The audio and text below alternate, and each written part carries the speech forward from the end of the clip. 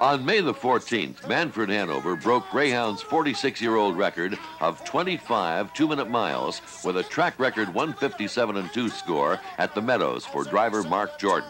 Manfred Hanover, photo maker second, three quarters, one, 27 and 2. Around the final turn, Manfred Hanover leads the way.